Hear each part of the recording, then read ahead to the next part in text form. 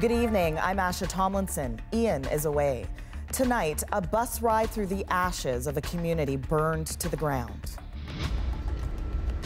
Residents returned to Lytton, BC for the first time since wildfire chased them out. The devastation of our home being destroyed, and it was heartbreaking. A glimpse at what's left of their community. Also tonight, kicking off the greatest outdoor show on earth. This will be a very different Calgary Stampede. The 14 year old who has captured the world's attention. M U R R A Y A. That is correct. How she spelled her way into the history books. And taking a trip this summer, a destination out of this world. It's taking space tourism to a next level. And a little bit closer to home. Guys, there's a wolf up here. This is The National. This was a very tough, very emotional day for residents of Lytton, British Columbia, after fleeing with just minutes to spare as a wildfire suddenly raced through the village last week. Today, some of them went back. And this is what they saw. So much of the village utterly destroyed. This was residents' first chance to see the devastation in person. Several buses carrying residents took that drive today. Then one carrying media did. Katie Nicholson was on it and joins us from Spence's Bridge tonight. Katie, uh, describe that moment for us of first entering Lytton. You know, Asha, it's, it's, it's one thing to see these photos emerge after the fire, quite another thing to see them roll by your window as you drive through what used to be a town. It makes it hit home and hit hard exactly the level of devastation felt by the people of Lytton, and that is exactly what happened today as they took this tour. The scorched violence of the Lytton fire on full display. Nothing left of homes but chimneys and charred bathtubs. Underneath this buckled metal was once the health center. The liquor store, now nothing on its shelves but soot. It was very difficult today. We just couldn't believe it. It's like a nightmare. This devastation, too much for some to bear. They opted out of today's organized bus tour. Others went in their place. Until you actually see it, it's hard to believe. Um, it will be really difficult, but I think it's the right decision for me. I understand why others don't want to go. For myself, I just want to see it with my own eyes. And it's Yeah. going to be tough, but I just want to have closure.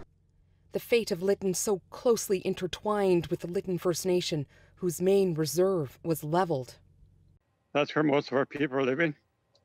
And this was just totally devastated. I think there was one home that was saved, but uh, left uh, standing. But you know, just so hard uh, on everyone. village of Lytton was also an essential hub for those who live nearby. I still don't know where I'm going to bank, uh, where my medical records are. Uh, w- I mean, I have a prescription I need refilled. From her pub just 34 kilometers up the road, Laurie Kingston offers words of support. They're just a beautiful, warm people. And although they've lost their houses, they've lost pets, they've lost neighbors and friends, they've lost their community. And that's one of the strongest points of Lytton, is a very, very strong sense of community. And for all the loss and devastation, some hope Lytton will rise again.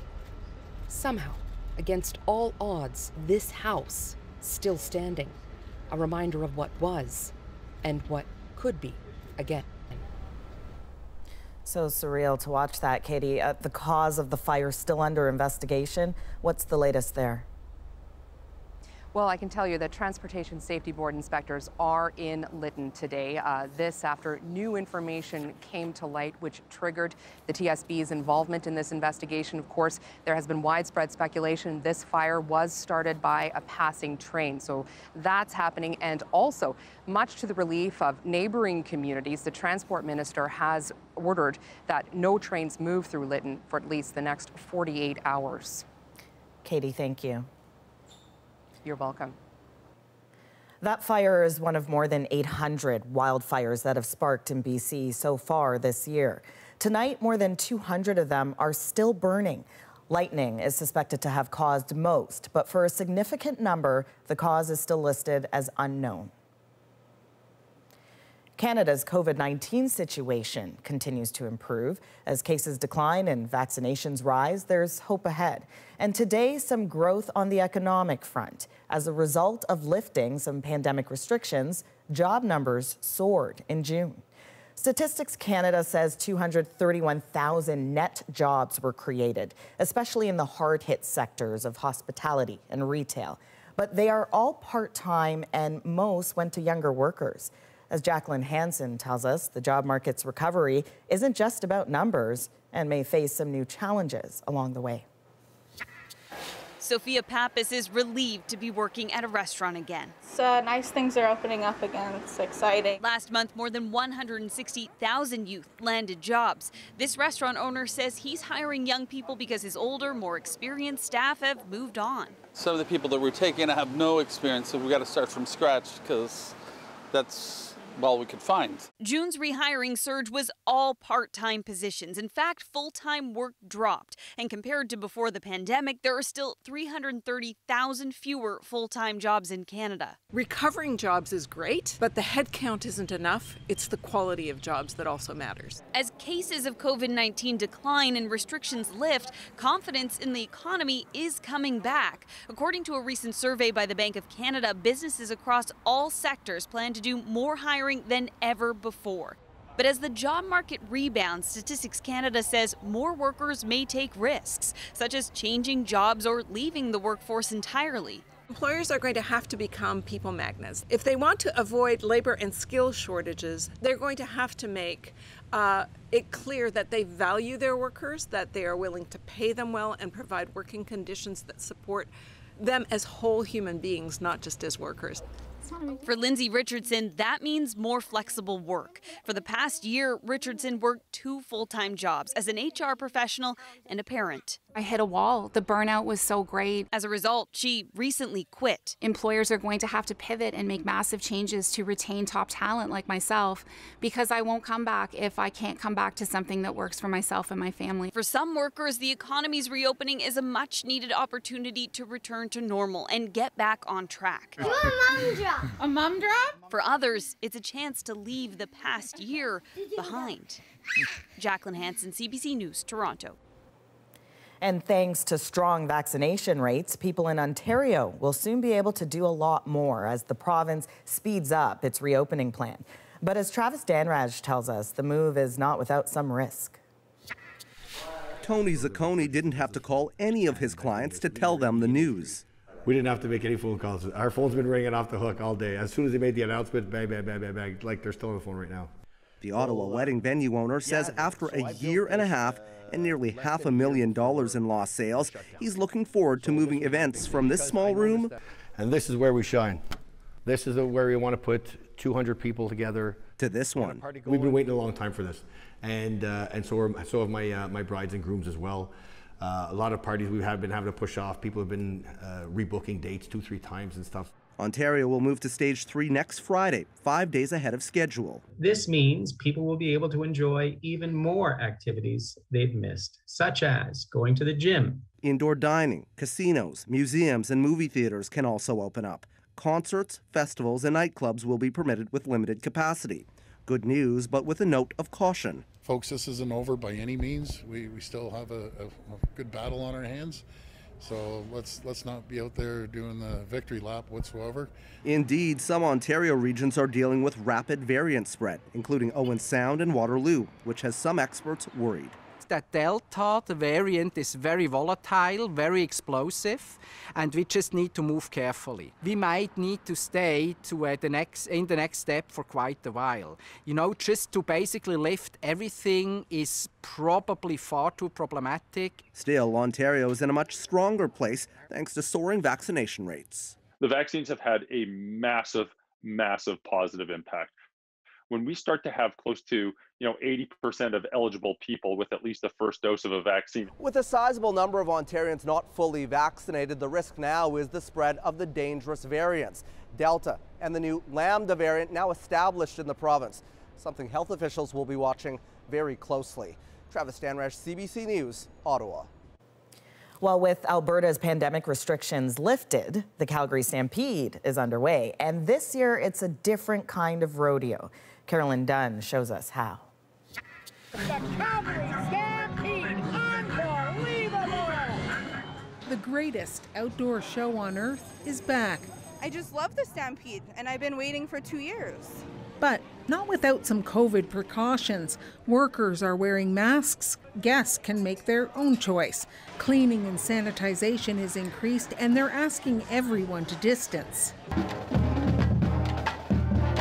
Even the iconic Stampede Parade had a very different feel to it. Alberta Premier Jason Kenney came in on horseback. Naheed Nenshi followed in his final parade as Calgary's mayor. But there were no crowds lining the streets for this virtual event. For Nenshi, that made sense. This year, the Stampede is about honoring what we've been through. It's about honoring the front line and the essential workers. It's about honoring what we've lost in COVID, but it's about turning the page. Plenty of people are intent on doing just that, lured by the excitement of the Midway or the zen that can only be found in a barn. We drive for, for eight hours. Paul Ma and his family drove overnight from Saskatchewan to attend their very first stampede. My family all have the full vaccinate. If they plan to attend a country concert at the famed venue Nashville North, they'll have to show proof of that vaccination or take a rapid COVID test before entering. That's to ensure the biggest concerts don't become super spreader events. But that proof of vaccination is a slippery slope, according to some privacy experts. in Canada, we're not the kind of place where we are accustomed to having to show our papers to prove that we've made a socially acceptable choice about our health Nothing is truly normal about this stampede, but it's closer to normal than many have experienced in many months. Carolyn, do we know how many people actually turned out today?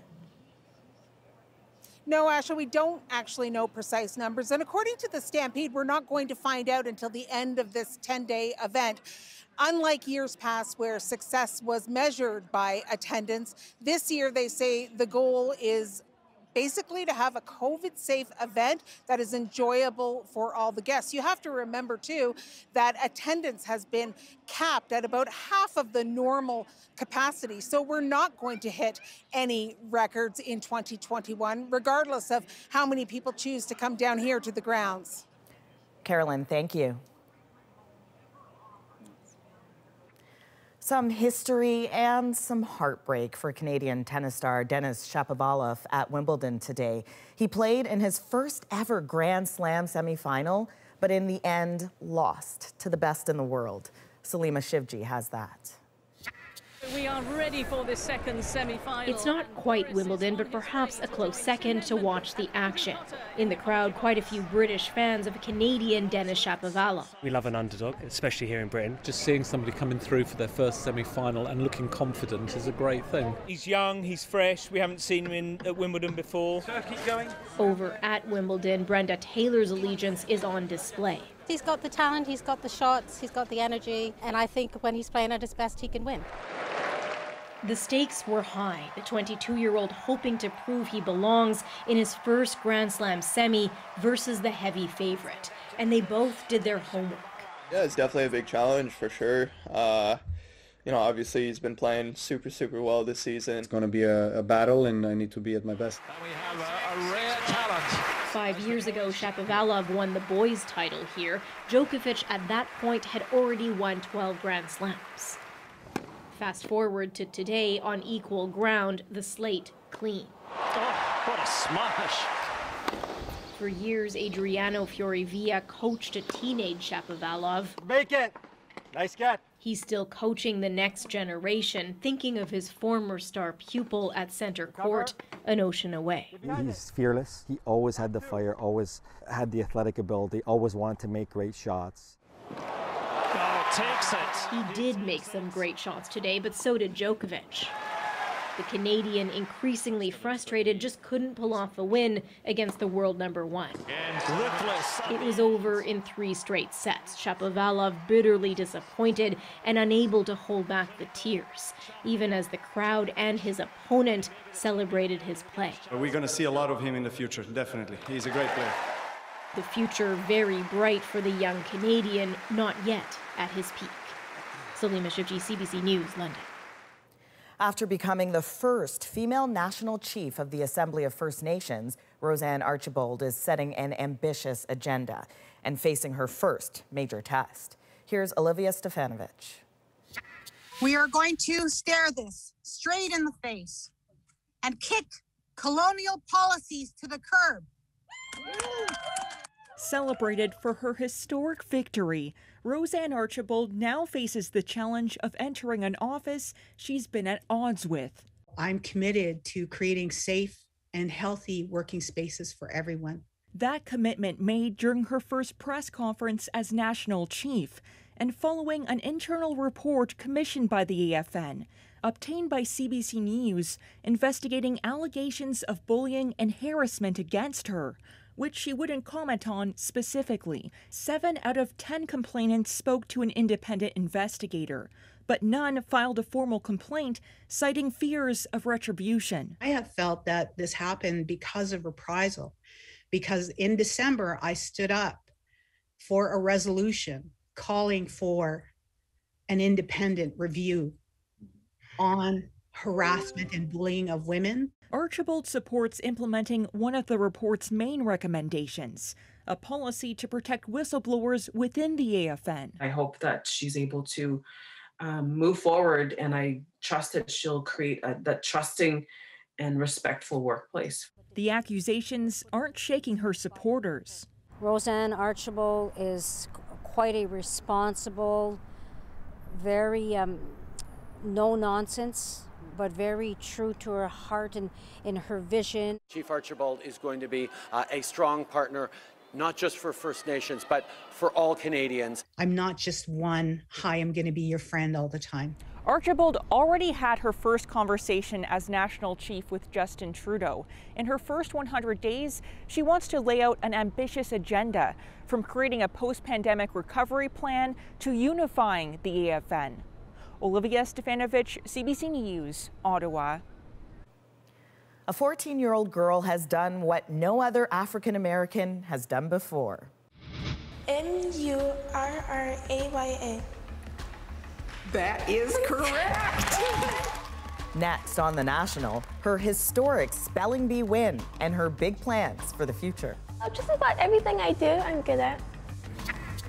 The billionaire space race is about to lift off. It's taking space tourism to a next level.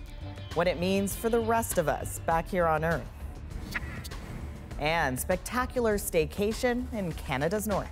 Very few people in the world get to experience this. Guys, there's a wolf up here. A rare glimpse inside one of Canada's most remote national parks. We're back in two. This brings the total number of confirmed fatalities to 78. The casualties continue to mount in Surfside, Florida, after another 15 victims were recovered from the site of a condo building collapse. After more than two weeks of searching, authorities say hope of finding survivors has been lost, but they remain committed to recovering the remains of the 61 people still missing.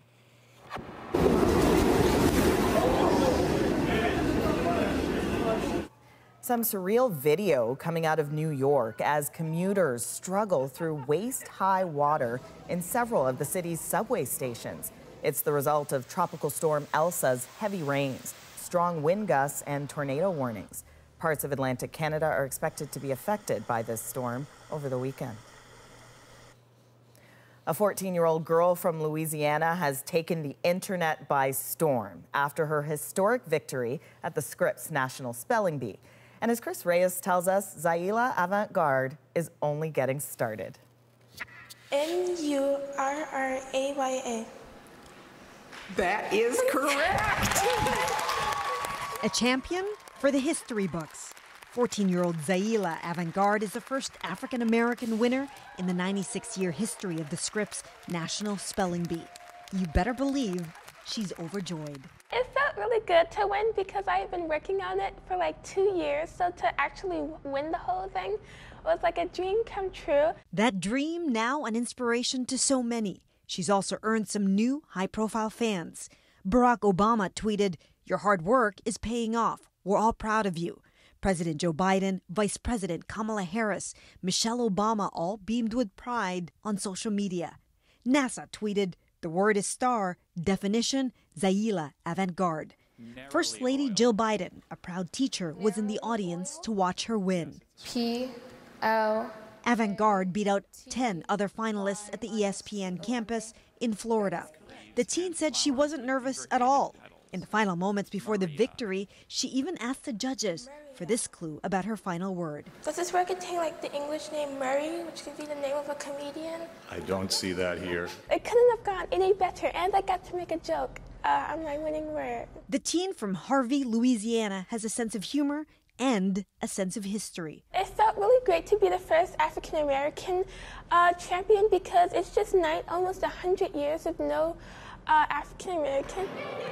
Avantgarde is a trailblazer not just on the spelling bee stage, but on the basketball court too.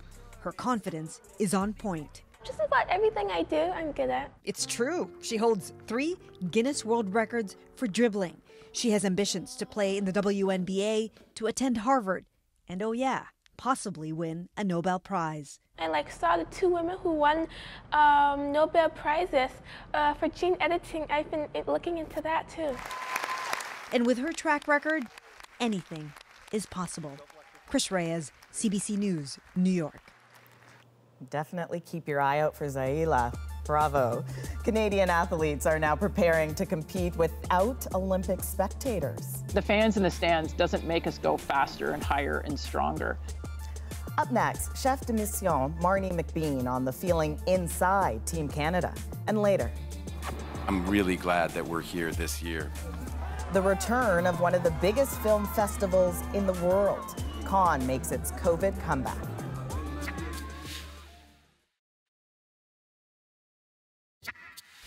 The Olympic cauldron was lit in Tokyo today, two weeks ahead of the Games opening ceremonies. To much less fanfare than past games, the city is under a state of emergency and won't be allowing spectators to watch the events. But still, the Games push ahead, an unstoppable force, and a multi billion dollar investment. And as Team Canada makes its way to Tokyo, many are wondering what impact this will have on the athletes. For Canadians, a familiar face headed to Tokyo is Marnie McBean.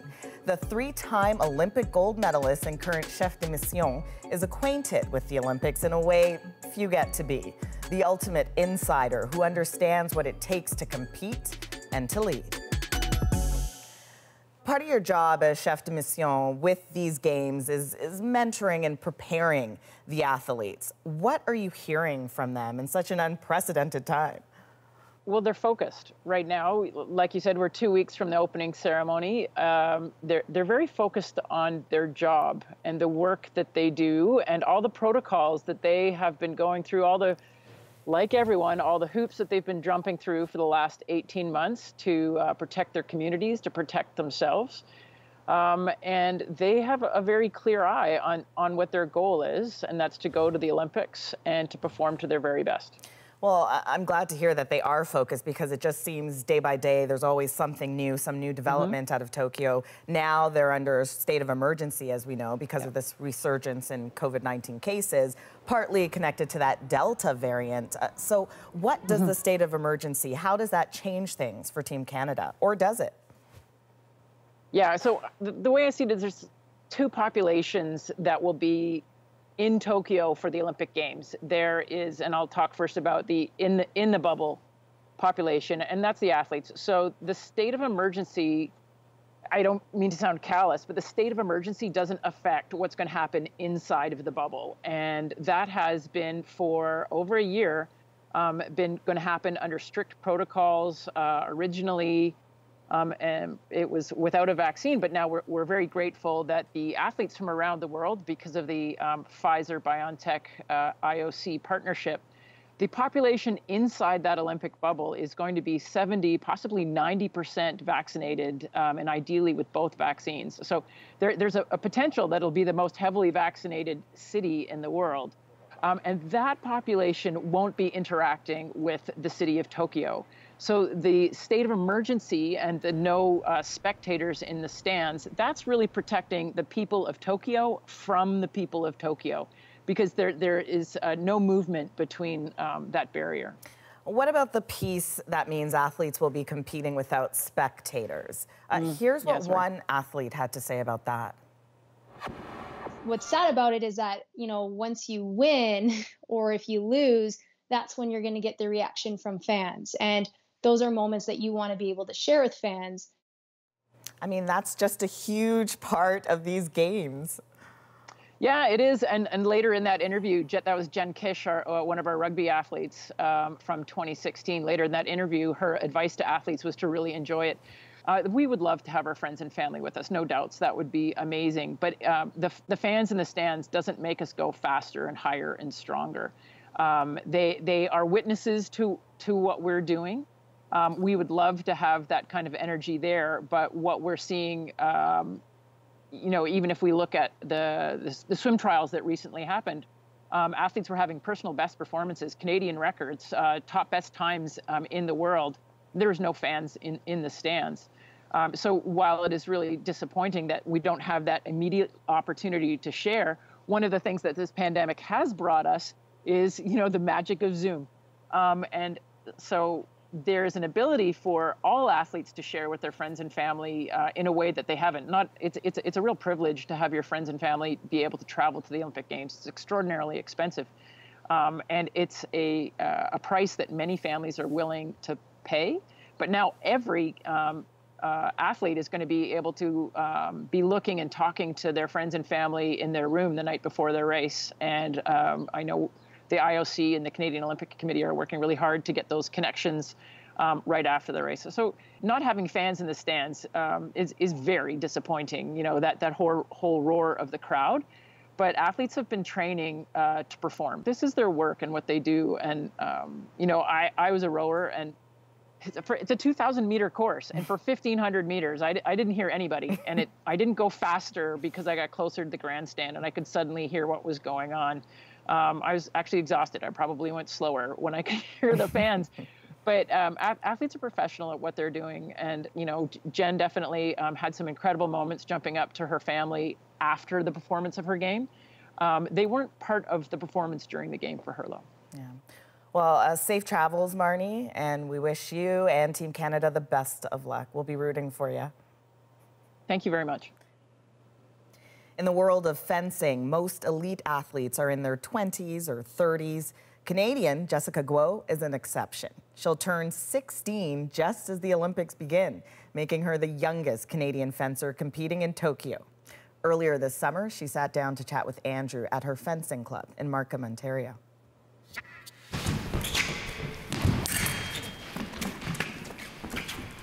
Fencing is one of those sports you've definitely seen before, but probably don't understand, beyond the fact that it's fast and old.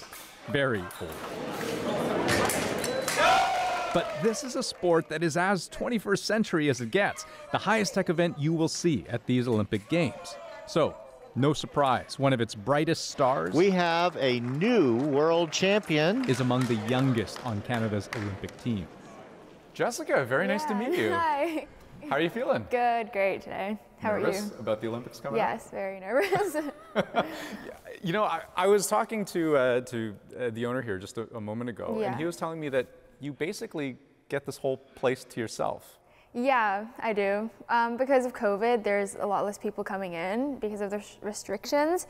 So I'm usually the only one here with like some of my teammates to train with and my coach. Yeah, he told yeah. me the whole place is closed yeah. except for Jessica. Yeah, just for me. Jessica started fencing at age six. Before long, she was traveling the world, competing, and in her age group, she's one of Canada's best. So I've seen enough of you in competition to know that you're good. You're really yeah, good. thank you. But I don't know enough about the sport to understand why you're so good. Oh. What is it about you that that makes you at, at this level? Well, a lot of people say like fencing is like a chess game, but moving. So I guess a lot of times that you have to be able to kind of outsmart your opponent with your tactics, and then that's how you're able to win. But also using like endurance and strength, that's a big part of it. But most of it is like a mind game. You know, when I, when I was watching um, some of your competitions, actually, I- mean, you hear the, the, The the, weapons, you hear the ting, ting, Yeah, ting, ting, ting. yeah. But then every once in a while, after a really intense back and forth, one of the fencers will just scream. Like, like one of these, like a primal Yeah. blood, cur- and I've heard you do that too. What's going on there? Um, well, a lot of times it's because you're very nervous and then you're trying to release like the nerves after getting a touch. But then also sometimes it's just to celebrate and being like, yay, like after this long battle, like I'm, I got this amazing touch and you're just happy and celebrating. Are you taught to scream that way? Is yeah, That, a lot of beginners are taught to be, once you go to competition, you should scream and forcefully. Sometimes the coaches be like, at the start of the match, the first few touches, just scream at any touch you get. And sometimes they'll be like, even if you don't, it's not your touch, you should scream. Because sometimes it actually convinces and persuades the ref in a kind of way to give you the touch. Sometimes it's an iffy call, and if you scream, you're confident, so then they'll give the touch to you. and do you think about intimidating your opponents? Yeah, yeah, it's very intimidating. What do your friends think? Do you feel like they, they get it? Like they, they understand all of the work that you're putting into and that they understand your sport? Um, I think they definitely know that I put in a lot of work into fencing because I travel so much, but I don't think they necessarily know how fencing works itself because they ask a lot of questions like, oh, like, can it go through you? Or like, does it. Can you get does- impaled Yeah. like, how does that work? So then I have to explain it to them, but it's just very fun explaining and talking to them. We talked a little bit about Tokyo, Yeah. But what are your expectations in Tokyo? I don't have that many expectations, but I really want to medal with my team in team event. And that would be very, very exciting just to stand on the podium with the team and just to enjoy the moment. But also, individual medal would be great too. You're also pretty young though. yeah. Do you, you must think about the long game too, Yeah, right? yeah. Like it's not all about these games. Yeah, yeah. Um, so, like tell me tell me a little bit about that, like your perspective going in. Well, I guess I obviously have long term plans. So I guess for the first, this Tokyo Olympics, I'm just planning on getting the experience I need for like future Olympics if I want to do better and like kind of get the feel of how it works for, to prepare myself for future Olympics if I get in. and are you thinking beyond Tokyo, but even beyond fencing, in terms of like what you want to study later or what kind of work you want to Um, do? I do want to go into the med field, and I really want to be a surgeon, but I don't know yet. It's, it does strike me that you're saying this in the middle of a pandemic. yes. Has that, has that changed the way you think? Um, there's been a lot of like deaths, obviously, and a lot of people are struggling. So I know that I do want to help people with these skills if I attend medical school. Okay, Jessica, thank you so Thank much. you. Best of luck to you. Thank you. The opening ceremony is just two weeks away. Adrienne will be co hosting CBC's coverage from Japan. That's on Friday, July 23rd. The biggest black led TV series is now in production, but one of the creators says it wasn't an easy journey. I was told straight to my face in some circumstances that there was not an audience. Next on The National, black creators on what gives them hope and why representation matters. I'm really glad that we're here this year. Cannes Film Festival, the world's biggest and arguably most glamorous, has made a comeback, giving people a seat at the theater for the first time in a long time. It was wonderful to be in a movie theater. Really, really, really great. There are fewer people and fewer parties this year, but the message is clear. Cinema 2 is back. to be in a room with a thousand other people because we all love the same thing. Like it just, it was such a great reminder of why we do this and why we get together like this. 24 films are up for this year's top prize, and among the festival's official selection, a Canadian production. Director Spike Lee is heading up the jury that chooses the winners, the first black person to hold this role. Despite some progress in recent years, black creators in this country still face many challenges to get funding or support for their work. But as Eli Glasner tells us, there's a group of Canadian directors determined to change that. Oh, this is really cool. In a costume department in Winnipeg, producer and actor Arnold Pinnock is excited to share how his show about black railway porters is springing to life. It's a bit crazy.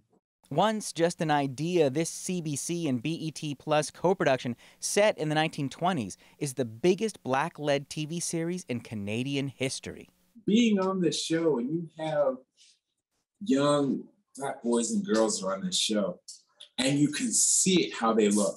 It's like, wait a minute, that's what I want to do now. Yeah. And and or, or see better yet, see Charles and RT or Anne Marie or Marsha, you know, and, and they what do they do? Oh, those are the showrunners, those are the directors. But getting the green light wasn't easy. I, I definitely know it wasn't the first project that I pitched. And, you know, in the past, I was told straight to my face in some circumstances that there was not an audience. and After a tumultuous year, the industry has pledged to change. Telefilm now has an equity and representation action plan. But a new report from the Canadian Media Fund still points to unfulfilled global demand for content from Indigenous, Black, or racialized creators. Because it's based on funding. Kelly Fyffe-Marshall is part of a new vanguard of Canadian directors trying to change that. Her short film, Black Bodies, earned a shout out from American director Ava DuVernay. But many of her Canadian colleagues still struggle. Like, how are we helping people that are in the middle ground, like I am and my peers? You know, how are we helping people at the top who have been struggling for 15 to 20 years in the industry and are not where they where, where they should be and where they deserve to be? you know it's about how do we how do we change the systems and the infrastructure the good news eli is i i have actually noticed a change after 20 years, director Jennifer Holness was tired of waiting and fighting and was ready to pack it in. I really was because it just felt like it was so tough. Now, broadcasters are calling her for a new series on the history of the Black experience in Canada. There is a real willingness to to to play, a, a willingness to say, okay, we're going to give you a shot and it's going to be a meaningful shot. Like many, she says there's more work to be done, but she's encouraged to show how black lives are a vital part of Canada's story. Eli Glasner, CBC News, Toronto. Up next, space flight is about to enter a new era. Why it's not just about the billionaires. Plus, very few people in the world get to experience this, this very incredible and special place. A rare glimpse inside one of Canada's most remote national parks. We'll be right back.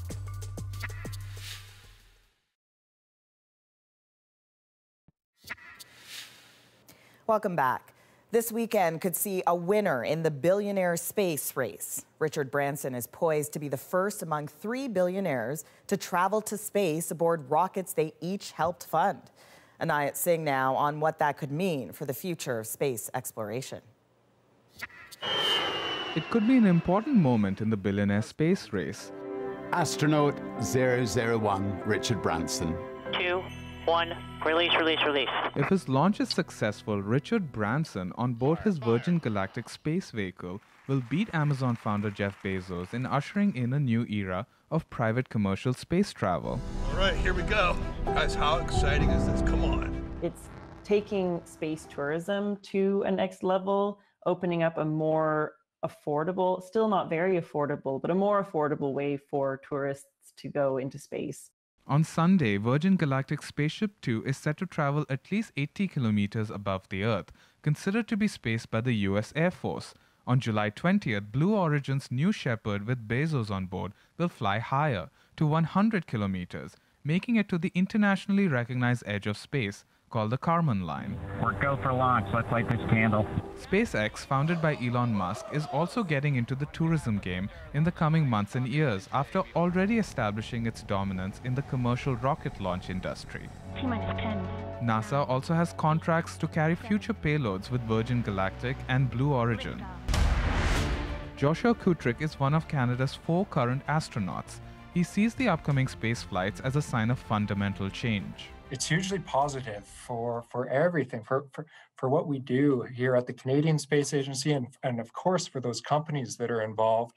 Um, I think it represents a lot of opportunity for the future. And while only a privileged few will get to be space tourists, there are potential impacts for the rest of us. Every single day, everything you do has a component of space in it whether it's your phone, your GPS, buying groceries, getting gas. Meaning a lot of people will have a stake in a successful launch of these flights. Inayat Singh, CBC News, Toronto.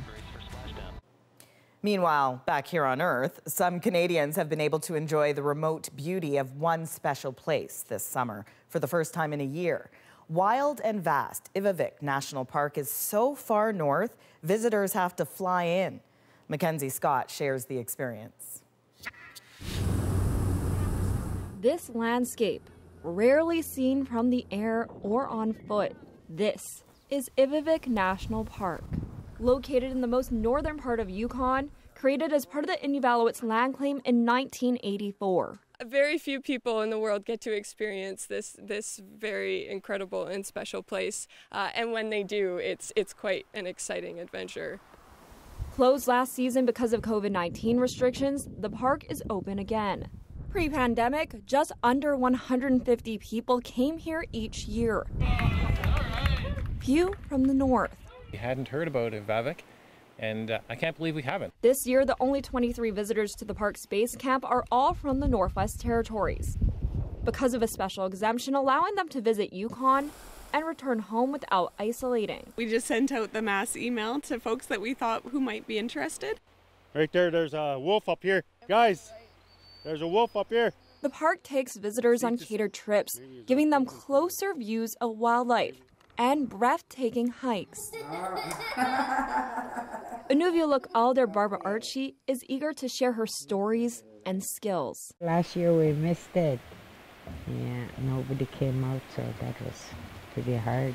For Mark Frazier, the park's been a safe escape for him and his daughter.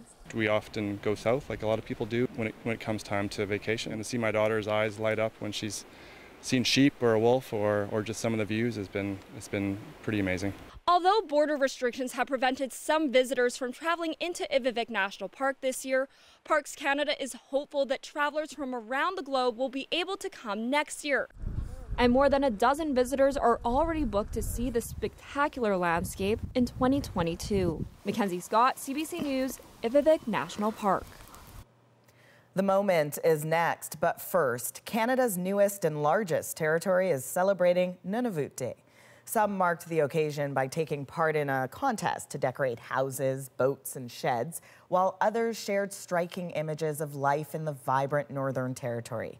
Nunavut Day marks Parliament's passing of the Nunavut Land Claims Agreement back in 1993, paving the way for Nunavut's official creation in 1999.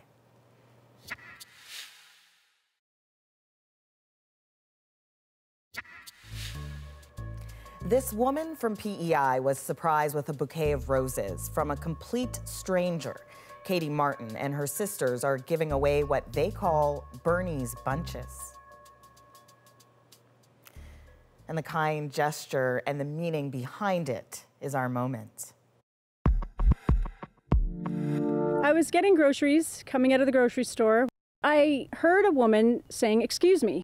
She started walking towards me and she had this big bouquet of red roses in her hand. This is what my family like to call a Bernie's bunch. So, my mum's name was Bernadette, and uh, she passed away in 2014 um, of ovarian cancer. Every year on her birthday and on Mother's Day, uh, myself and both my sisters and my cousin go and give a bunch of flowers to a random stranger as a way of memorializing my mum and as a way of bringing a smile to somebody else who wasn't expecting it on that day. I thought, what an honor for her to pick me, but I'm glad she did because it moved me. In her saddest moment, this is what she wanted to do for somebody. She wanted to make somebody happy. I kind of started to tear up right away. But this is why we do it. We, we give the flowers so we can remember her, and in a nice way, because she was a lovely woman. And of course, this beautiful act of kindness made the rounds online. People on social media were sending out messages to both Kate and Stephanie describing ways they want to pay it forward after seeing the post. So, something to consider this weekend brighten someone's day. That is the National for this July the 9th. Good night.